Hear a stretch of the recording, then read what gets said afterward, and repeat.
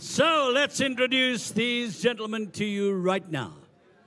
They are fighting for the WBA Pan African Super Middleweight title, and it's scheduled for 12 rounds. He weighed in at 74.50 kilograms. He's wearing the blue trunks with a white trim. He's had 32 fights, 22 wins, nine losses, one draw. He is the challenger from Tanzania, Ibrahim Matamba.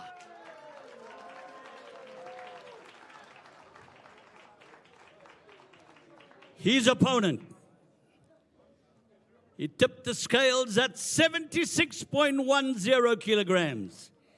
He's wearing uh, the black and silver outfit.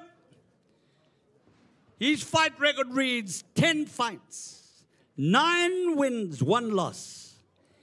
He hails from the Democratic Republic of Congo via the RSA. Patrick Mukala, the champion.